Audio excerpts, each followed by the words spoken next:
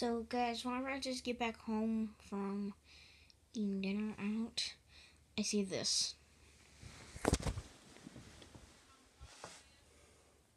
I just got a new hamster. Hamster. A lamp. See you guys in the next video. Bye.